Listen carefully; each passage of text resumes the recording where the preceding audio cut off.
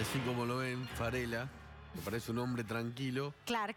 se ha, Caminé Claro. varios cementerios. ha- claro. se- un meado en el cementerio de la corrupción argentina. Cuando decimos eh, cementerio es, la corrupción se ve ahí, en inmuebles, en departamentos de lujo, en autos. Que son muy costosos de mantener, ¿no, Sí, Sergio? sí, claro. Estamos hablando, decimos cementerio porque hay varios predios, hay más de 500 en todo el país.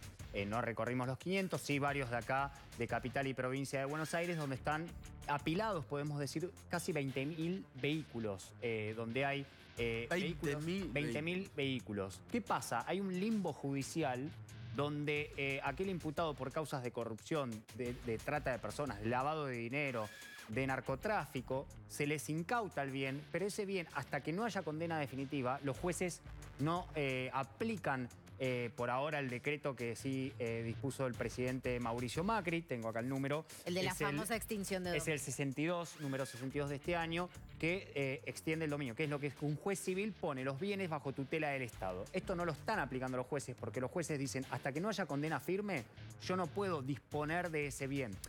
¿Qué pasa? Hay Ferraris, hay eh, autos como Porsche, Sí. donde eh, no se le puede, mientras tanto, hacer uso a, la fu- a una fuerza de seguridad, como sí ocurre con otros tantos bienes. ¿Por qué? Porque imagínense que una gendarmería o la gendarmería o policía federal no va a usar una Ferrari, un Porsche, primero por los costos que tiene. Segundo, ¿qué utilidad le puede dar a ese Claro. tipo de vehículos? No puede hacer tareas de vigilancia con, con Y el- en lo que tiene que ver con inmuebles, el AVE, que es el nuevo la Agencia de Bienes del Estado. Claro, sí puso en eh, subasta algunos, pero no todos los bienes, ¿no? No todos, porque ese es otro decreto, el 598, que lo que dispuso Macri es eh, la subasta inmediata de esos bienes. Se intenta hacer con el- uno de los aviones de Lázaro Báez, que por ahora no consigue alguien que lo tiente esa aeronave por el estado de deterioro justamente que tiene, porque claro, Hasta el 10 de diciembre, capaz aparece alguien. bueno, puede ser. Lo, lo- lo que pasa de Nico, vos fíjate, los bienes están ahí, ¿no? Muchos a la intemperie. Eh, lo cierto es que pasa el tiempo, no se le da ningún uso, se gasta muchísimo dinero. Entonces entramos en algo perverso, que es que el Estado gasta mucho más dinero, más de mil millones de pesos eh, por año, en cuidar bienes que tienen un valor de 900 millones de pesos. Claro. Y que van perdiendo valor Que todos progresivamente. los años van a valer Claro. menos, claro. Cada año que exactamente. Va a ir perdiendo menos y sobre todo que no hay algo próximo, porque las causas eh, van apelando hasta que no haya condena firme, no se les quita los bienes, con lo cual es algo muy complejo. Hay muchos ejemplos, hablamos con especialistas, pero sobre todo recorrimos estos cementerios de la corrupción. Lo que está bueno es que eh, mucha gente pregunta, ¿dónde está la plata de la corrupción? Acá. A ver.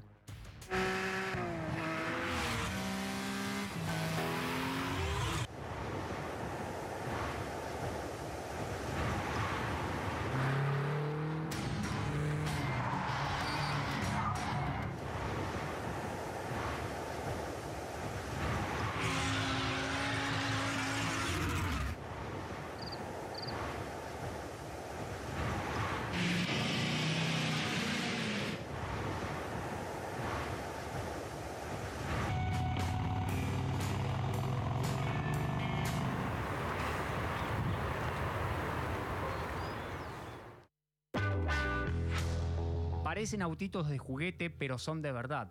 Estas joyas de la industria automotriz hasta hace muy poco tiempo le daban lujo y prestigio a funcionarios, empresarios y narcotraficantes.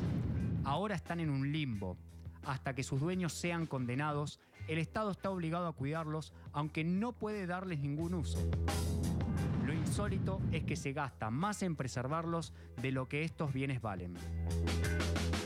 Tenemos afectados eh, en total 573 espacios a la guardia y custodia de mercadería, donde tenemos espacios destinados a, playas para vehículos. Para que te des una idea, son unos 280.000 metros cuadrados, donde tenemos un- unos 20.000 vehículos, unos 15.000 automotores, 3.500 motos y unos 5.000 camiones y maquinaria agrícola. Esto para que la gente también pueda tener una noción, equivale a unos 40 estadios de fútbol repleto de bienes y que muchas veces eh, ya están en su gran mayoría inutilizados y van teniendo una pérdida de valor efectivo.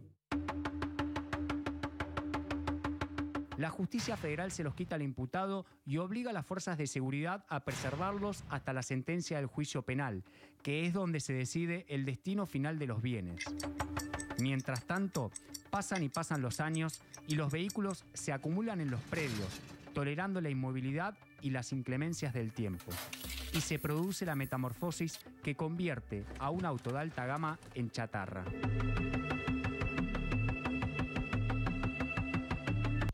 Las flotas de altísima gama de los gremialistas Marcelo Balcedo, el Pata Medina, los narcotraficantes Los Monos, funcionarios y empresarios que enfrentan causas por corrupción, destacan y se oxidan entre la maleza de los predios a cielo abierto.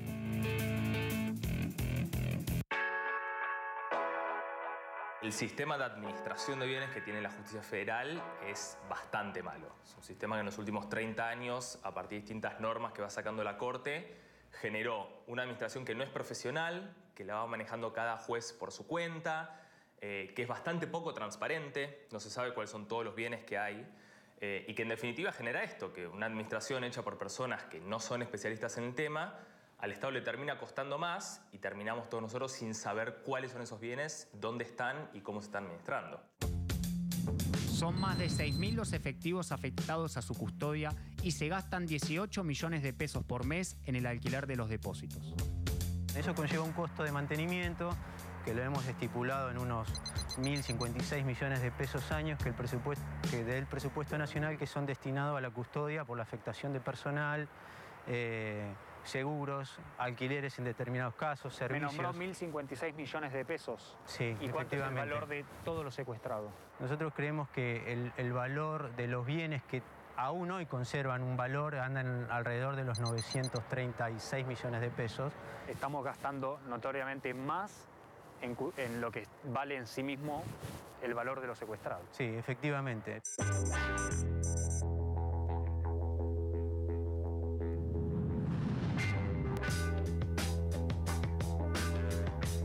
En este predio de Policía Federal en Villa Soldati hay entre motos y autos mil unidades. Después de muchos años es muy probable que todos esos terminen en esto.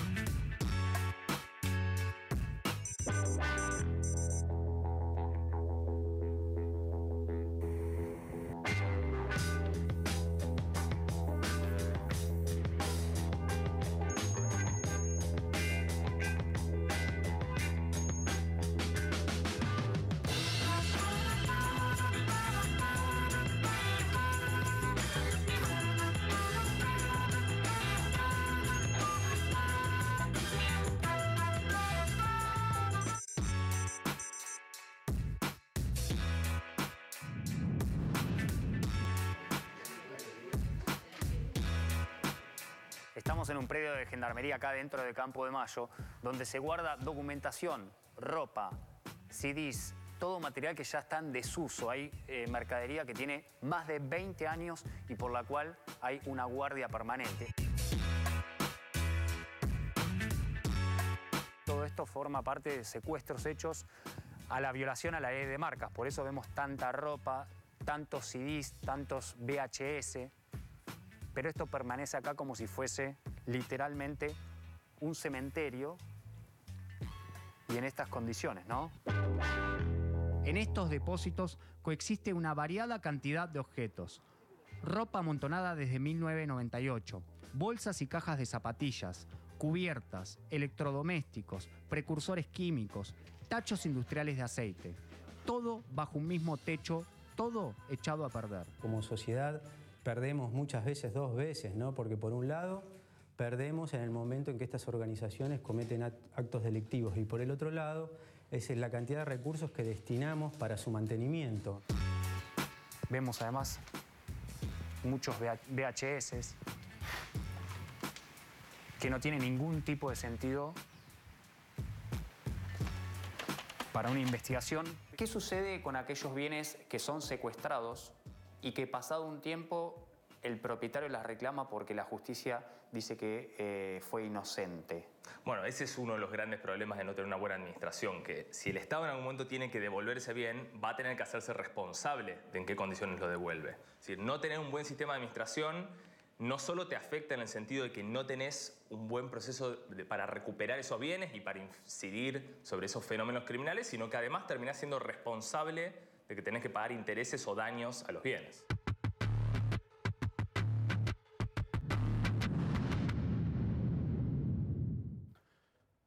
Pues, Sergio, muy buen informe. Me quedo con una de las frases que realmente duele y mucho. La sociedad pierde dos veces, ¿no? Sí, pierde dos veces porque obviamente es plata que muchas veces le corresponde a nosotros, al Claro, Estado. era nuestra. Es la nuestra, así Sí. como decimos. Otra tiene que hacer un sorteo de los autos y que, que le caiga a quien y a le quien caiga. le caiga, ¿no? Otra es el tema de mantenimiento. Claro. Y te digo un tercer daño que tiene que ver con pasa el tiempo. Lo que le preguntaba Agustín Carrara, eh, es es declarado inocente. ¿Cómo le devuelves ese bien?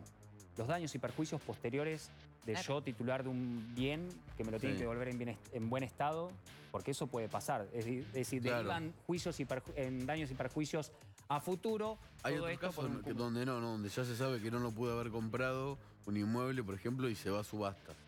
Eh, pero también lo que pasa es que tal vez no se, ve, no se vende. No, a- eh, lo, lo que te dicen desde el lado de la justicia es que eh, hay, no hay herramientas legales. Lo que te dicen del Poder Ejecutivo es que sí, que los jueces tienen que de alguna forma ser más valientes. Y hay dos decretos, estos que mencionábamos antes, uno de las subastas, el otro justamente de la tutela de la extinción de dominio, pero no están regulados, no, no fue una ley del Congreso, con lo cual dicen hay una debilidad ahí en cuanto a la O si no, legislación. O si no, acelerar los tiempos, ¿no? Porque el gran tema Bueno. es que al no haber condenas firmes o al dilatarse tanto los procesos, pasa esto. Exactamente, tenemos un ejemplo muy concreto. Si se quiere ir a otro ejemplo, como los bolsos de José López, el dinero, eh, los bienes de José López condenado por enriquecimiento ilícito, un hecho que no pasó hace mucho, pero que, claro, se apela y eso va a otra instancia judicial y nunca estamos en veremos de cuándo ese dinero, imagínate los eh, 9 millones de dólares que todavía están ahí eh, esperando que se eh, destine para un bien público, es decir, para los hospitales, para el Garham, pero eso no sucede. Así que estos son los cementerios de la corrupción, ¿no? Miramos muchos predios, muchos vehículos. Bueno, ahí se quemaron un poco las pestañas eh, los- los- el editor Carlos Christensen, María Baglietto, la productora. un trabajo donde, bueno, recorrimos muchos predios y todos están así, ¿no? Bienes de muy alta gama en cementerios.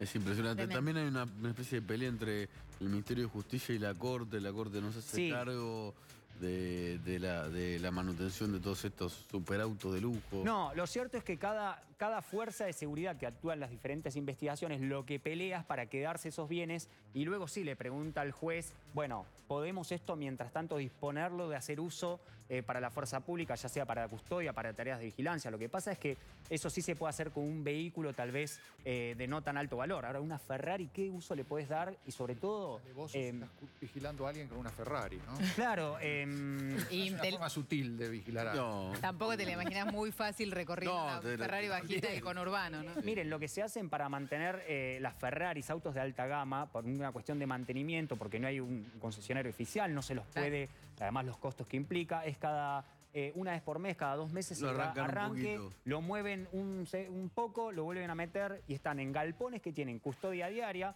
Eh, estamos hablando de 500 más de 500 lugares, 1.600 efectivos de las cuatro fuerzas de seguridad por No, día. que son cosas que le 1.600 sacaron a gente pesada, que tal vez la quiera recuperar de- con modos Eh, eh, violentos. Claro, exacto. devolveme mi Ferrari. Sí, y, y- Que la y estamos también buena parte de eso hoy es prácticamente chatarro basura, porque esas pilas de cosas. Bueno, eso es- cosas, que alguien lo está.